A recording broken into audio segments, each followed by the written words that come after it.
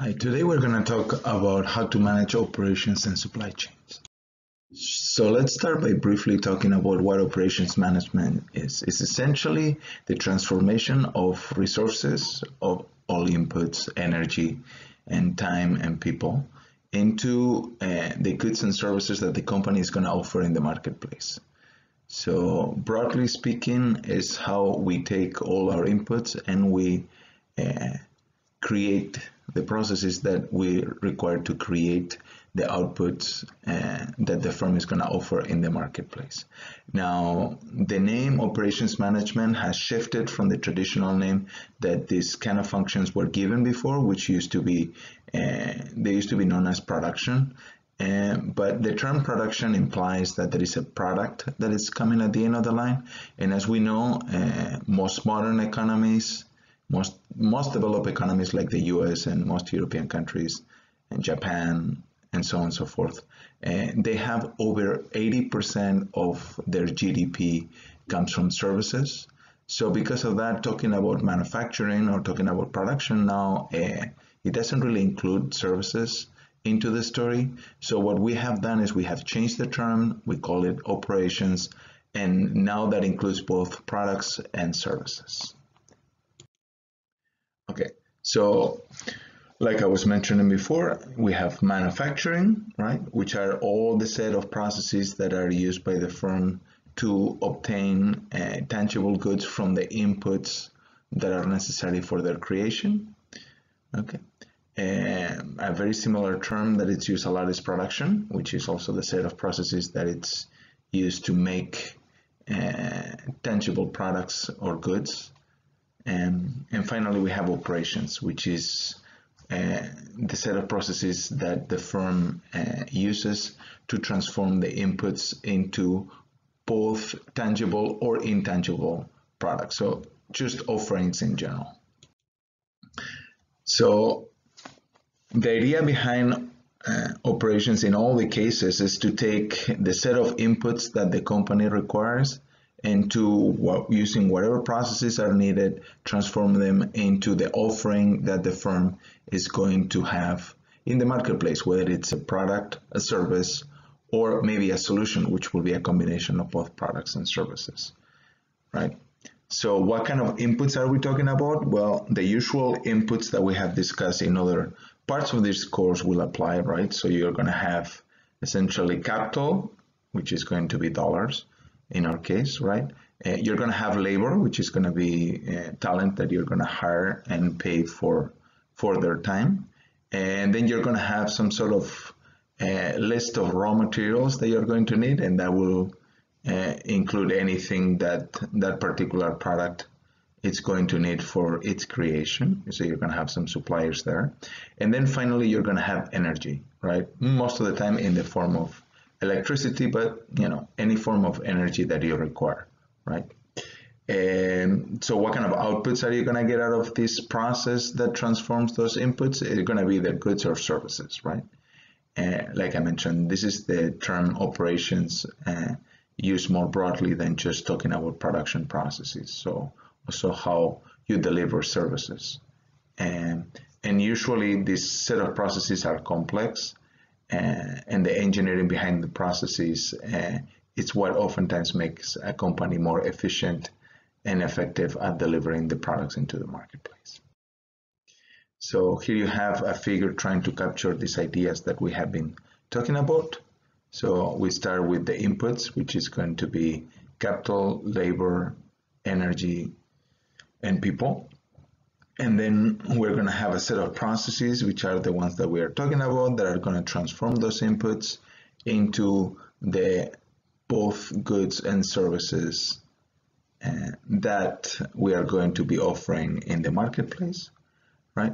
And the idea behind this is trying to understand how these processes work, at least to some degree, design them, and create some sort of feedback loop that enables us to see whether we are actually doing a good job at transforming these raw materials into the products that we offer in the marketplace, uh, both including quality control, uh, efficiency inside of the firm, but also having some input from the consumer side as well, right? Uh, quality, for example, you can define it as we will see later from an engineering perspective, but at the end of the day, quality is going to be determined by the customer, right? The perception of the quality of the customer. So you're going to need some customer feedback in the loop as well. So when we're talking about operations management, one of the big, big distinctions that we're going to make is we're going to be talking also about services, not only products.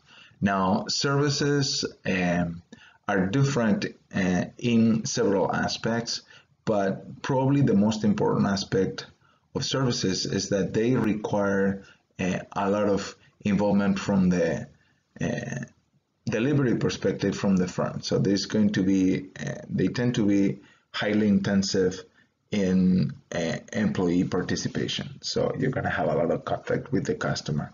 Typical example of that would be getting a haircut, right?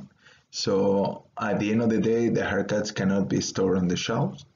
And they need to be delivered or performed at the time that the service is acquired by the customer, right? So in most services, you're going to have this customer contact uh, that it's going to make uh, the service delivery and standardization a lot more challenging, right?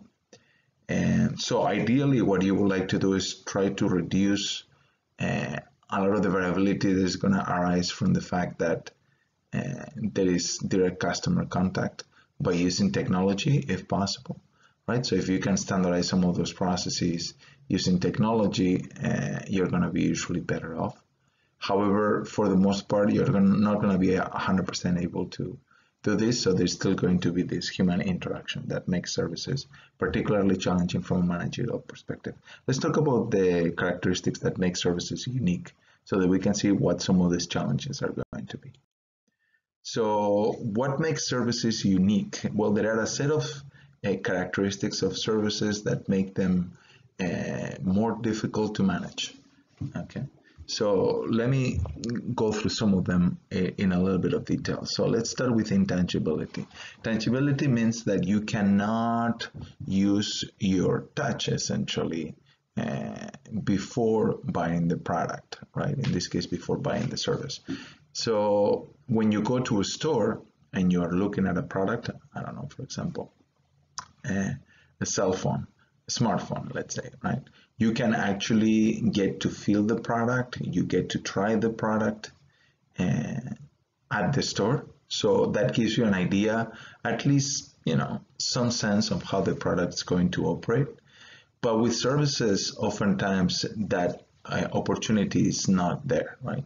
So before you take your car to get service at a particular shop, you don't know how the service is going to be right? So there is no opportunity for you to uh, sense the product using, using your senses and just get an idea of how that product is going to work out. Same thing happens with a haircut, right?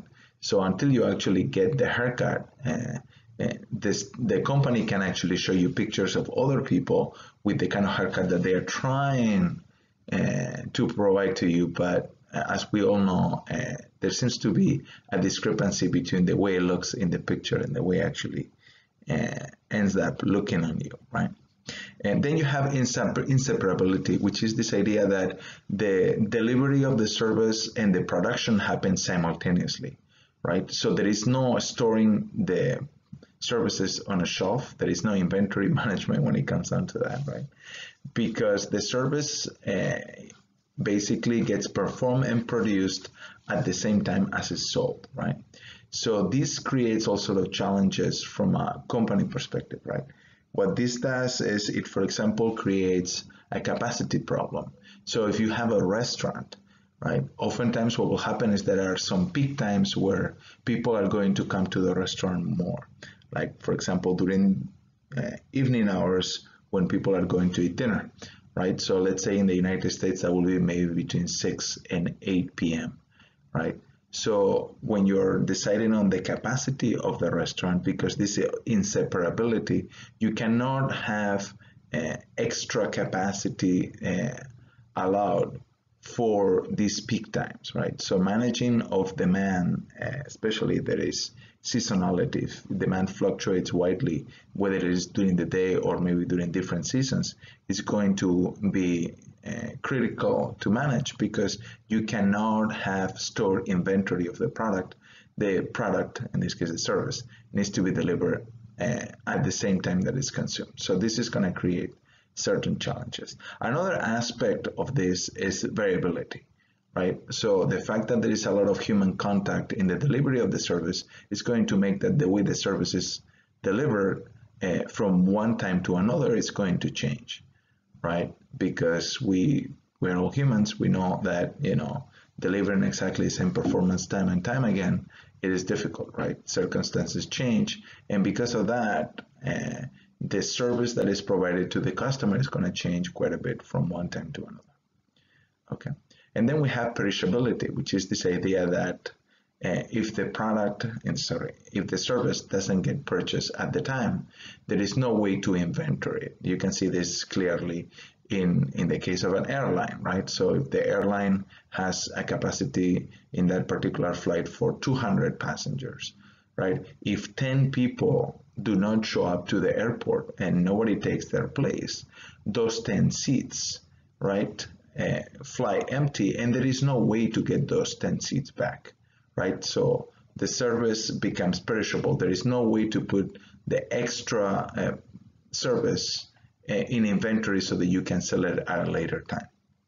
Okay, then and this is similar to the variability aspect, there is the user participation. So uh, within the service, there is direct contact between the firm and the user, and oftentimes the performance that is delivered from the firm perspective, it's going to be dependent on how uh, the user cooperates, right? So, for example, if you're getting a haircut, uh, you're going to get some instructions from the uh, from the person that is actually providing the haircut for you. And if you do not follow those instructions closely, that is going to create a challenge on obtaining good quality service. Right? And you know, if you put all this together, you have the same problem with lack of ownership, which is that uh, because of all the characteristics that I've described before, until you actually uh, uh, purchase the product, uh, nobody owns it because the actual service doesn't exist yet.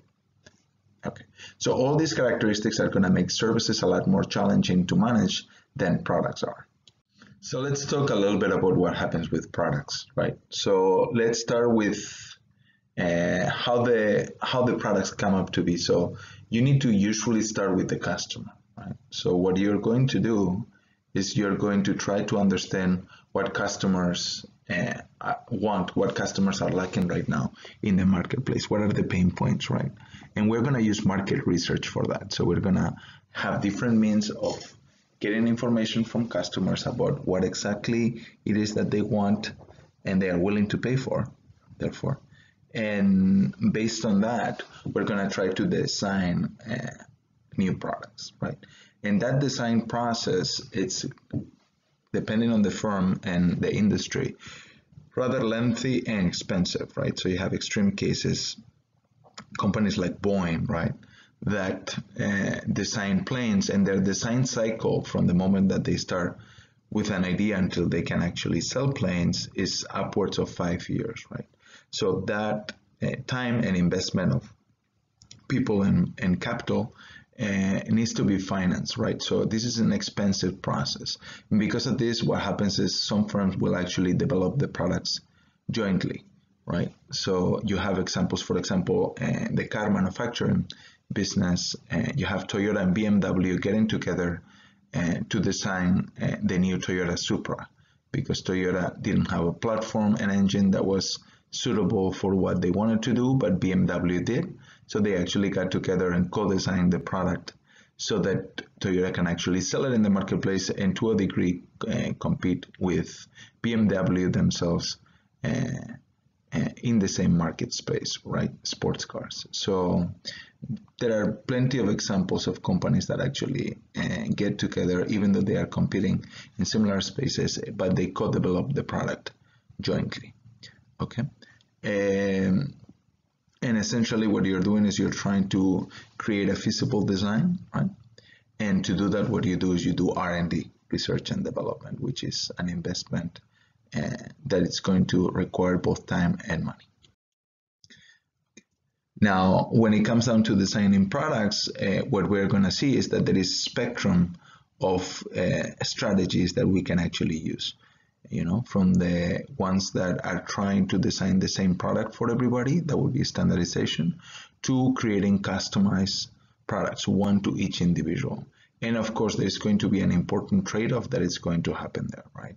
So standardization, what we're going to do is we're going to achieve a much lower cost of production, and hence we're going to be able to sell those products at a cheaper price uh, to the customers, right? And the classic example of this will be uh, the Ford Model T, right?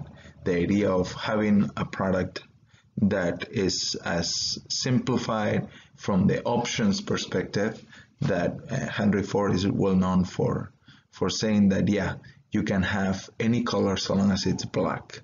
So there was only one color choice for the car. And the idea of standardizing something like you know paint but you know the automobile in general is that as you have less options there is less complexity in the both design aspect and also in the manufacturing uh, aspect of the product or delivery of the service. And because of that, uh, you can pass in some of these uh, lower cost into the consumer.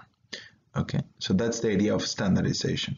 And then something in between standardization and custom products is this idea of modular design, where what you do is you break down the design of the product or service into its core aspects and you standardize the core aspects that are usually the expensive ones to actually uh, both design and manufacture. So uh, you just standardize the core and then what you do is you add other aspects around the, the product or the service uh, that we call modules, right? And those enable you to, to some degree, customize the product, even though the core of the product it's it's standardized, and hence you can leverage some of those uh, cost savings of the standardization, but maintaining a little bit of customization through these modules. Let me show you some examples. So here you have, for example, the Volkswagen Group, and the largest car manufacturer in the world at this time, at the time of this presentation. And here you have some of the cars uh, in the Volkswagen Group. There are multiple brands in here. You have Audi, you have Skoda, uh, you have Volkswagen itself, you have Seat, right? So there are multiple brands within uh, this large uh, car manufacturing conglomerate, Volkswagen and they have a, a, platform which is essentially the underpinnings of the car. Let's say the you know the structure underneath you have uh, all uh, including within this the suspension design and the the chassis of the car and some of the components that deal with both engines and transmissions uh, that are common across all these different cars that you can see in the picture right? And the interesting thing is then what you do is you modify this platform in ways that from a consumer perspective, this uh, you get very, very different products, right? So you have from a compact car uh, like a Golf here to a full-size vehicle uh, like this Skoda over here to SUVs or uh, the case here of the Seat Altea, which is a minivan, right? They all share the same platform. So you can basically obtain economies of scale by producing the same core of the product. But then from a consumer perspective, these are very different vehicles that satisfy different needs. So there is a little bit of customization that can actually happen even though the core of the product is standardized. This is the idea of modular design. Okay. And then finally, what we have at the other end of the spectrum of product design is customization, where you actually uh, acknowledge the fact that all customers are unique. So what you're trying to do is you're trying to cater as much as possible to the, that uniqueness of uh, desires from a consumer perspective. And the kind of processes that are involved in this are essentially something called mass customization, where it enables you to maybe uh, produce a product that is unique for each customer. A couple of interesting examples of this. At least let's talk about one. You can go to M&M's website and you can just create a bag of M&M's with, for example, the name of your significant other, right? So that way you take a product that is very typical, right, an M&M, and you customize it for a special occasion, maybe for Valentine's Day, right? So what this is enabling you to do is because of some of the modern technology that is enables you to reasonably efficiently and effectively uh, produce uh, smaller batches uh, of of products that are unique, right? So we have some uh, interesting technologies in printing that enable this, for example. Uh, and basically, you can deliver a unique product uh, for a customer that is going to satisfy their needs.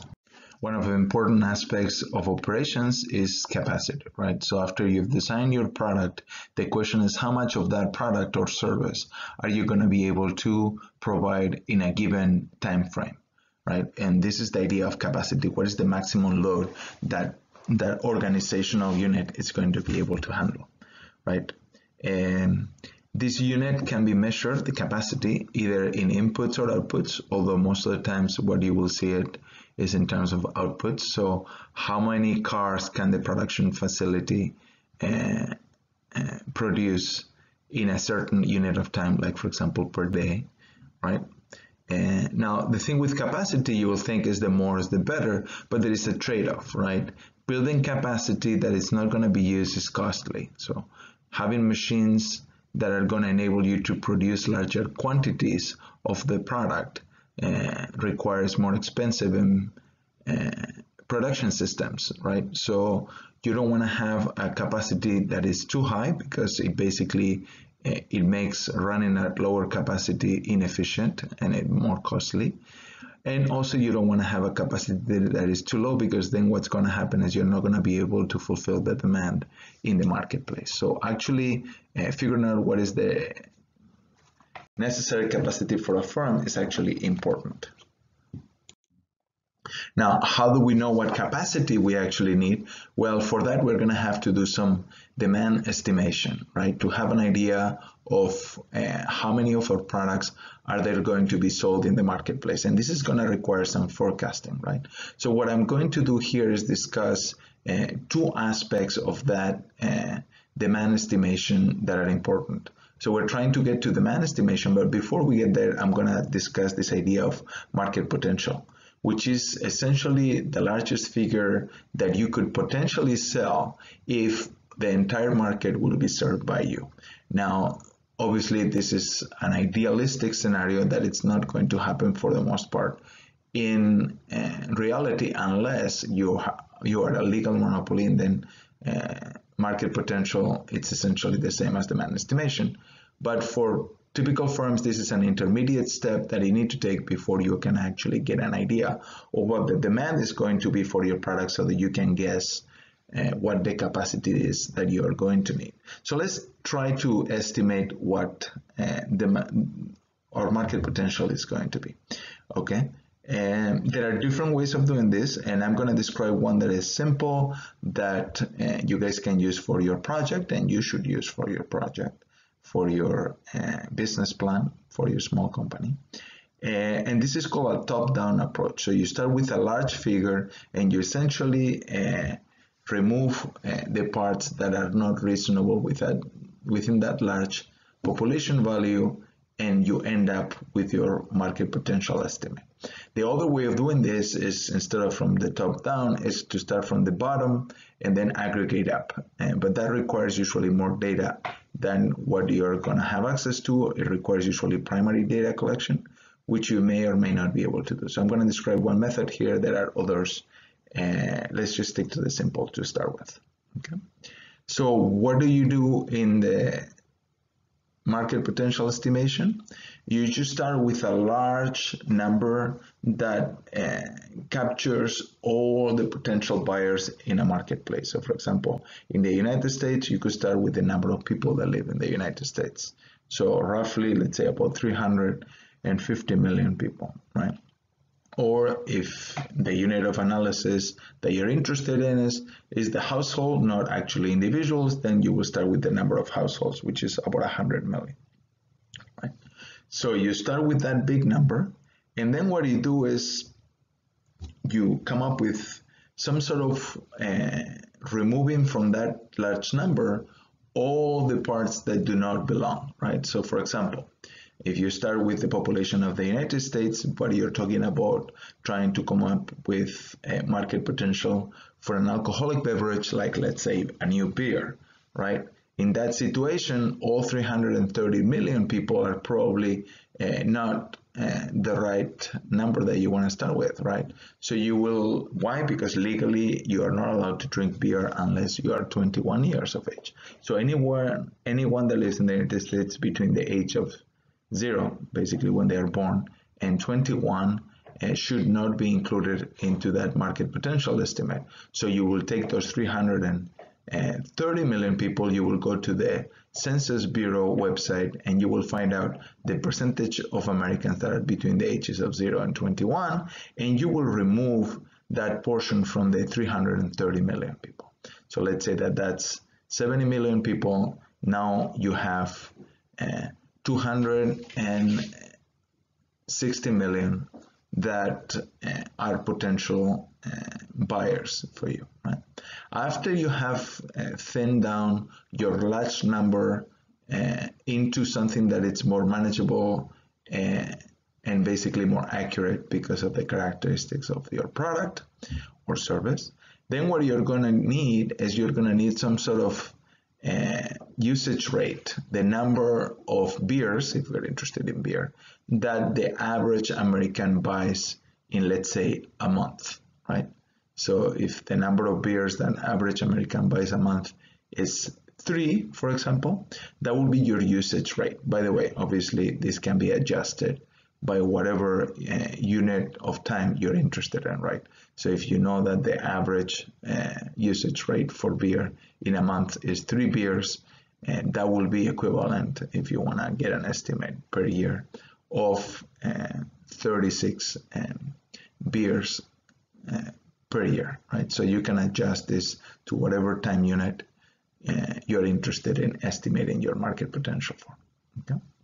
And then after we have the usage rate, which is the number of products that those people uh, are going to buy on average, uh, is how much are they paying for those products? And again, this is an average figure. If it's a new product and still not out in the marketplace, what you're going to do is you're going to try to determine what is their willingness to pay, right? Because the product's still not in the market.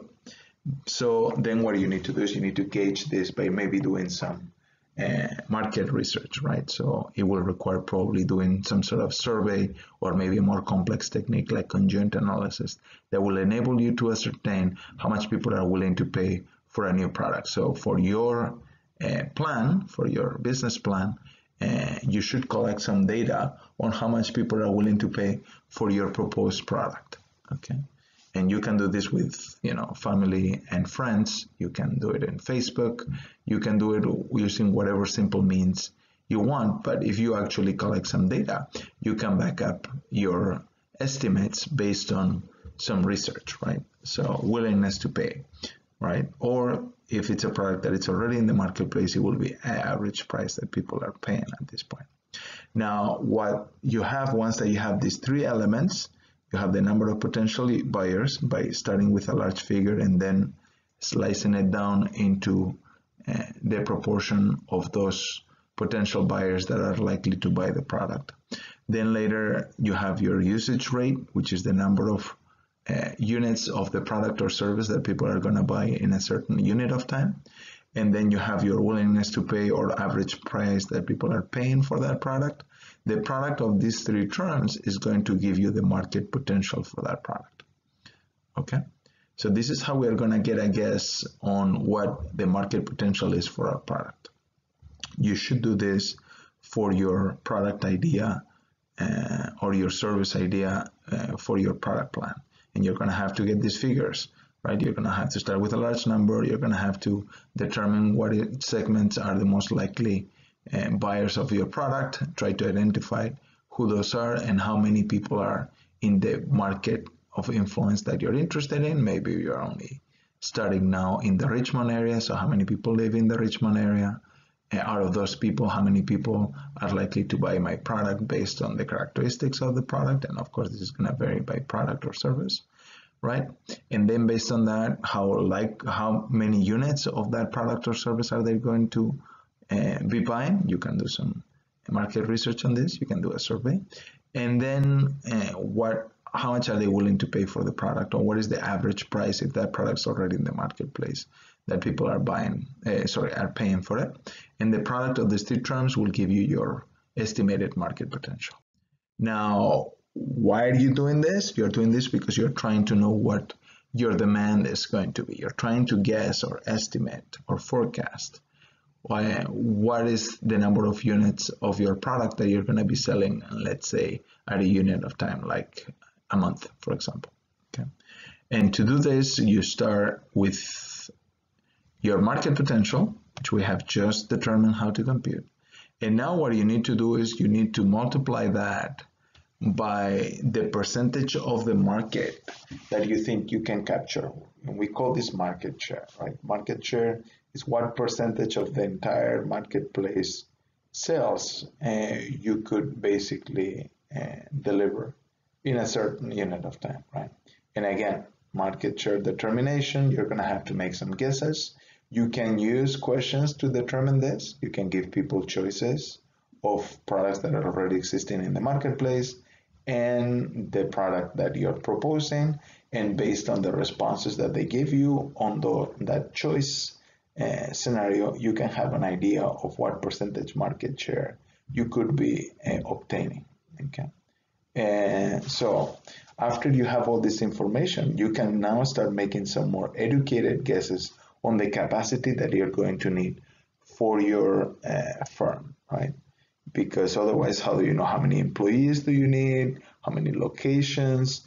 Do you need to contract out some of the services that you're providing, etc., etc. So estimating demand is absolutely essential for you to determine what the capacity yeah, is that you need to build within your operations management system.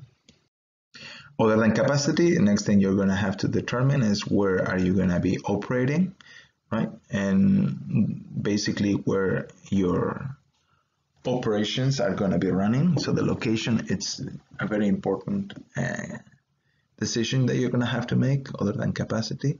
And what aspects should you take into consideration? Things like how far are you going to be from your primary market right? So proximity to market is important especially if the products or services that you're providing require direct con contact with the customer like we were talking about most services do. And in that situation the location is going to be absolutely essential.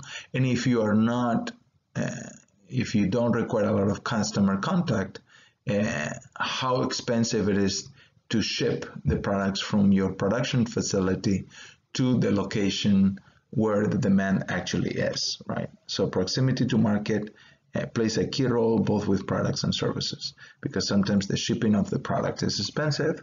If it's a heavy product, that will be the case. For example, if it's light and small, maybe, you know, location becomes less relevant for production uh, determination because you can just go and go and ship the products anyway, right? But if you're talking about something heavy, expensive to ship, maybe because it's dangerous, right? And or if you have a lot of direct contact with the customer, like in the case of most services, then location is absolutely essential, right? What else are important factors to consider? Availability of uh, raw materials and transportation linkages. So here in the United States, a lot of the firms that do uh, any uh, heavy manufacturing, they are located close to uh, rail, right? Because a lot of the raw uh, products get delivered uh, using trains. And so where you set up your production facilities is going to be a function of many of these aspects, right? Uh, another thing that will be important oftentimes when it's a large plant that you're setting up or a large service center is whether uh, the local government is going to give you some incentives to actually set up the production facilities or the service delivering uh, center within that space. And oftentimes you will get uh, tax uh, tax reduction or tax removals altogether uh, or any other set of incentives if you're setting up operations and creating jobs within a certain locality. So we've talked about location, we've talked about capacity. Another thing that you need to plan for is the kind of technology that you're going to use for uh, the design, production, and delivery of the products to the marketplace. And there are a lot of exciting technologies that companies use right now uh, for these processes. One is computer assisted design, right? The idea that instead of designing the product using paper and pencil the old-fashioned way. Now what we do is we use computers and to do that and that enables you to actually uh, do the designs faster so you can just go faster from the design aspects to the production aspects. The software will help you not only with creating the, the product design but also uh, checking for the manufacturability of the product so whether what you are designing is something that can be easily uh, moved into a manufacturing uh, setting, so it's going to help you in that process. Um, so there is a linkage or integration between the design aspects and manufacturing aspects. And we also see this uh, trend moving towards flexible manufacturing, especially for companies that are interested in either A, reducing the cost of production. Uh, so you're going to see the use of things like robots. I'm going to paste, uh, I'm, I'm going to put in the description of these videos, uh, of this video, a couple of links to one, uh, a video where you can see the some of the robots that Amazon uses for its fulfillment services. Uh, which I think is kind of interesting. So you can see how you can use this automation to uh, decrease the cost of running some services, in this case, the delivery of products. So this is a fulfillment aspect of, of the company, right? And you can also use drones. Actually, they are working quite hard right now in trying, Amazon is, in trying to reduce the time that it takes from the moment that you place an order to the moment that you actually get the product uh, in your hands right? And one of the aspects that they are testing, uh, although it's still not operational, is this idea of using drones for this, right? So when I'm talking about flexible manufacturing, it's not only applying to products, but also applies to services as well, right? And so technology is having a huge impact in, in how we design the processes of production, basically. Okay. Another aspect that it's nowadays essential uh, other than the technology that you're using, the capacity that you need to build and the location where it happens is this idea of sustainability. So uh, it's essentially using the resources of the planet wisely.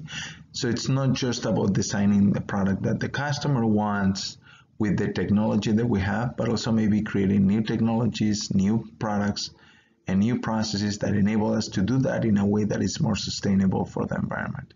This is a huge trend right now. You can see it into pretty much any product or services that you're going to encounter. Everybody's going to tell you how they are recycling, how they are lowering their impact uh, on the environment. And I think at the end of the day, anything that is going to be better for the planet, it's going to be better for us. And if you're doing any of these aspects uh, within the firm, which you probably are, and you need to let customers know that you're doing it so they can actually appreciate the efforts that you're putting for improving the sustainability of your products and services. So, so far we've discussed operations aspects, but operations is just one piece within the supply chain. Uh, so the supply chain is uh, all the systems and processes that connect uh, the raw materials and the consumer. So it's everything from sourcing the materials and talent, energy, everything that you need to either make the product or provide the service. So that aspect will be the operation side. and then later take that product or service to the final consumer. And that's going to involve things like intermediaries that are going to help you take that product and, and put it into the hands of the people that are going to be buying it when they want it and, and where they want it, right? So it's gonna include other aspects that we have not discussed before, like procurement, which is it's basically uh, buying the raw materials and and inputs that you need for your operations. Uh, it's going to involve also logistics, which is basically uh, the physical uh, the physical movement the design of the physical movement systems that will enable you to get the inputs and also take the outputs uh, into the marketplace. So operations are just one part, maybe one of the more visible parts of the supply chain uh, that I'm talking about. But at the end of the day, supply chain is bigger than just operations. Operations is just one aspect within the supply. So let me talk a little bit more in detail about the different aspects of the supply chain. And let's talk with procurement which is basically securing uh, the materials and inputs that are needed for the uh, operations aspect of the company, right? So in many firms, uh, procurement is actually called purchasing, and in large organizations, there will be a department that will be in charge of doing this. And what they are going to try to do is they are going to try to basically uh, secure uh, suppliers that is going to enable it's going to enable them to have the right quantities and quality of uh, materials and inputs uh, at the time that they needed it in the quantities that are needed. And this is actually not a simple process, right? Oftentimes firms uh, are going to have uh, large lead times before they uh, qualify somebody to be um, a new supplier for them. And the procurement department or the purchasing department is going to play a key role within this. And so what are the variables that they're going to be looking at? Whether the firm can actually deliver on their promises, right? Which is not a trivial thing when you're talking about uh, supplying large quantities of uh, a product or service that may actually not be standard. It might be custom made for the firm, right? And they're also obviously going to be looking at the cost, right? Also availability, how flexible are they? Can they actually uh, provide a larger quantity if it actually needed? And how reliable are they? If they tell you that they're going to do something, are they actually going to do it or not? And this is how a lot of the suppliers are going to be qualified within large firms. Once that we have determined uh, who our suppliers are going to be, uh, it's important for us to talk about inventory. Inventory is essentially all the raw materials and elements that are going to be used by the company for their operations. Okay?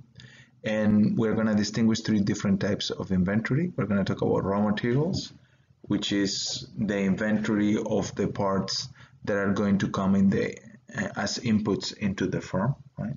So these are going to come directly from our suppliers. You're going to have also inventory or work in process, and those are the partly finished uh, elements of the production line. So for example, if you're building cars, uh, one part of, of the car will be the transmission. So if you are building the transmissions yourself, uh, you will have, you know, uh, at the different stages of the production line, that transmission is going to be uh, in different stages, right? So when you're doing an inventory assessment, uh, you're not only going to be tracking the raw parts, but also the working process parts, which are the ones that have already been partly assembled. Okay? And then you have finished goods inventory. So when the car is finished, uh, that will be part of the finished goods inventory. And you're also obviously keeping track of those cars that you have finished in the case of a car manufacturer. Now, once that we have defined the three different types of inventory, we need to come up with some sort of uh, decision process to know a what the level of inventory is at the different stages of the production process and also to come up with rules as to how that inventory is managed. So we have a whole host of rules and processes around inventory and we call those inventory control. Okay. and there are different systems that can be used for inventory control. Uh, for example, you have just-in-time, just-in-time inventory management, uh, which was pioneered in Japan in the 80s, and is the idea of trying to minimize the uh, inventory uh, at each of the different stages within the production system. Uh, so having just a minimum amount of inventory that will enable you to run your production without having uh, too many stoppages, but trying to keep that uh, inventory at a minimum, trying to minimize the cost of having all that either raw materials or uh, work in, pro in progress uh, inventory parts that are essentially not yielding any returns for you. So it's taking the perspective that minimizing the inventory uh, in hand uh, will actually be a useful thing to be done by the firm. There are other uh, ways of doing the inventory management. Uh, you can do uh, economic order quantity model, which is trying to order parts in large batches just so that you can get a better uh, price because you're buying large quantities. So you're trying to minimize the number of orders that you're placing with your suppliers. Of course, this has the downside of asking or requiring from you to keep large quantities of inventory because once that you place the order, you're going to have lots of raw materials that need to be stored into your into your warehouses, right? So this is trying to minimize the cost at the purchasing uh, point, but not necessarily minimizing the cost of holding all that inventory, which is what just-in-time was trying to do. And the other way of ordering is just uh, whatever is necessary to maintain uh, the production line running. So to have certain flexibility uh, level within the organization. So these are three different philosophies of running uh, and ordering your uh, raw materials so that you can just uh, minimize different types of cost. One more aspect that we should discuss is this idea of outsourcing. So the idea of outsourcing is moving part of your operations, for example, manufacturing, but it's not limited to manufacturing, uh, to other uh, companies. Okay. So for example, you could take your customer service aspects of the firm, not necessarily the manufacturing, and outsource it to a different company because you think that they can do maybe a better job or most of the time because they can provide the same service or similar service at a lower cost.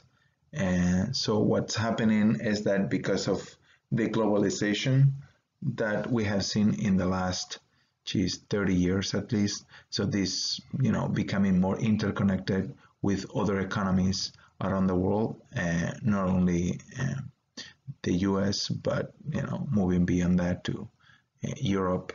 Uh, in the U.S., you have, uh, for example, NAFTA, which we have already talked about, uh, making the economies of Canada, Mexico, and the U.S. a lot more interconnected with a lot more trade. That means that you can actually take part of your operations and moving them to other countries, like in this case, Mexico or Canada. So for example, car manufacturers will make some other cars in some of these neighbor uh, countries, uh, like for example, Mexico, where maybe the cost of labor is actually going to be lower, right? And so this could potentially uh, enable you to be more competitive uh, because what you're doing is you're basically assigning your resources uh, more optimally by moving them around the globe in the locations where those resources are going to yield the most returns. But the downside is that it has or it carries some public, uh, some negative public opinion, right? Because uh, obviously uh, people uh, don't feel like necessarily is the right thing to do because what you're doing is you're moving jobs from your country to other countries. So, you know, are you getting cheaper products, but at what cost? So to continue with our discussion on inventory, the next thing we need to talk about is what happens with those raw materials. You're going to have to do some routing and scheduling. So that's going to be uh, creating a sequence of operations through which the product is going to be passing. So the like different stages within the firm. and that will be routing. And then you have scheduling, which is the assignment of required tasks to departments or even to specific machines, workers, etc. So it's the idea of creating the schedule that is going to determine what's going to happen within the organization uh, in that operations aspect, right? And the way to do the scheduling, uh, it's oftentimes uh, done using uh, PERT, which is a program evaluation and review technique, right? So what it does is it breaks down the process of production into the different activities that need to be actually completed before the product's completed, right? Before the project's actually done. And then what it does is it tries to arrange the different activities and measure the times that actually need to be completed for each of them. And with those times, it's gonna uh, determine what is the critical path within the sequence of activities. So let me give you an example so that you can see what I'm talking about. Let's go through the next slide. So here you have a very simplistic PERT diagram for making a Big Mac, right? So you can see that in this case, there are eight activities that need to happen, right? From the beginning, when you get your raw materials, which you have a list right here, and how long it takes to actually uh, conduct that task is at the bottom of all the tasks in parentheses. That will be in seconds, right? So you can see you start with laying out the raw materials and then what you do is you have two tasks that can actually happen simultaneously. You can put the uh, patty to cook or grill and that's going to take two minutes or 120 seconds. And at the same time that you're doing that you can actually apply uh, the sauce into the bread right? Into the bun right? And then you have the different activities that are going to take place after that. Now notice that the colors of the arrows are different okay? The blue set of arrows is going to be what we call the critical path why? Because for you to accomplish this task, which is to create the Big Mac, uh, the total amount of time that it's going to be required to do that is the one that includes all the elements that are on the critical path. Okay, so you can see that because grilling the patties takes 120 seconds, by the time you are done setting the sauce and spreading the sauce. And the patties are still grilling. So this this is the path that is going to take the longest uh, from beginning to end okay? Obviously this is a very simplistic PERT diagram where you know it doesn't uh, really shed a lot of light but when you have a complex process like putting together a car which the average car has 30,000 parts on it and determining uh, the critical path is a non-trivial question and it's particularly important when you're trying to set capacities and inventories that are needed at the different stages. Okay. Now, once that we have set up all, all the raw material sourcing, we have determined the scheduling, and we have determined how the production path uh, it's going to happen and once that you start having output and maybe through the process, you need to ascertain that the quality uh, of the product is sufficient. Now, what is quality? Uh, quality is going to be essentially a function of what the customers think is a reasonable performance for the product. Okay. So quality is going to be a function then of consumer perception. Okay, so what we're going to have to do is we're going to have to try to come up with the systems that enable us to measure this quality so that we have an idea of whether we're actually hitting the mark or not. Okay, so you're going to have to create metrics to determine uh, product quality or service quality both. And uh, you're going to have to be constantly monitoring these measures. Okay quality control, it's uh, aspects of the firm that try to uh, ascertain that this quality that we are measuring, uh, we are achieving the targets that we have set up for. So it's a function of some standards that you're going to set. We're going to talk about some uh, general standards of quality later on. And total quality management is essentially a philosophy that tries to uh, ensure that that quality level is going to uh, originate from all the different areas of the organization. Okay, uh, type of uh, uh, the type of elements that are going to be here. Uh, if you're interested in googling, is for example Six Sigma, which is the idea of when you have many different parts in a system, unless each of them Uh, gets uh, basically a extremely high level of quality. And because of all the different components everything is gonna actually there is a good chance that one of the parts is going to fail because there are so many components into the system. So because of that unless all the parts have absolutely exceptional quality the system overall is going to have actually poor quality uh, overall. So total quality management there is a whole host of tools that come with it uh, one of which is statistical process control. So you're going to have to get better or get good at uh, determining uh, when that quality issue is going to be sufficiently large that you need to stop the process.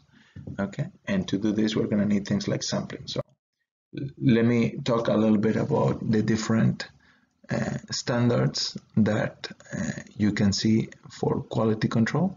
So ISO 9000 um, is a set of standards that are defined uh, from an engineering perspective and from a process engineering perspective so that we can just make sure that uh, whatever is going to come out of the production facility uh, it's going to have adequate uh, quality levels at least from a technical perspective and there is an equivalent to that from an environmental standards perspective it's called the ISO uh, 14000 and another thing that comes along with that is risk management within the organization, and those standards are the ISO 19600.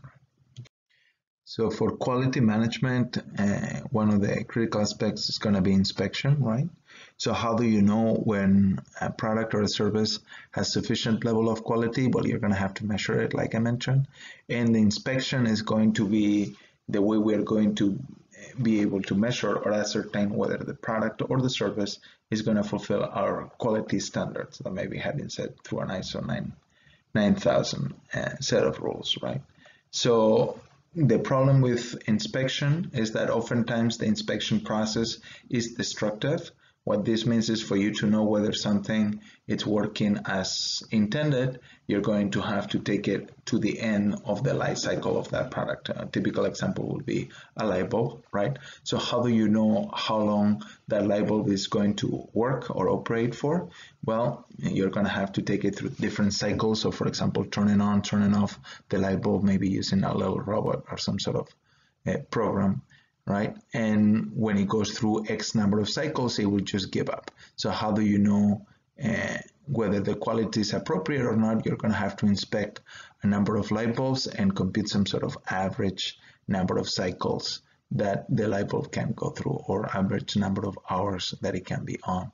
And of course, uh, these are destructive methods of inspection. Not all inspection methods are destructive, but oftentimes they are. And because of that, you're going to need sampling.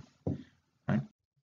So what is sampling? Sampling essentially enables you to learn about the population from a sample. So instead of testing every light bulb that you actually make, especially if they are destructive methods, that will be very inefficient, right? Because you will have nothing to sell because you will destruct every product to make sure that it meets the quality standard. So what you do instead of that is you sample.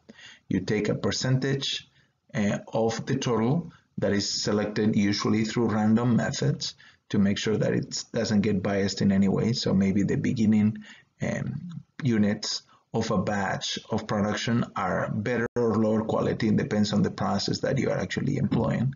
And because of that, if you only take a sample in the beginning and not throughout the whole production batch, uh, it will it will yield uh, biased estimates of quality. So what do you want to do is you want to have some sort of selection process that it's random that enables you to test a smaller sample and it gives you information about the entire population, in this case about your production process or system.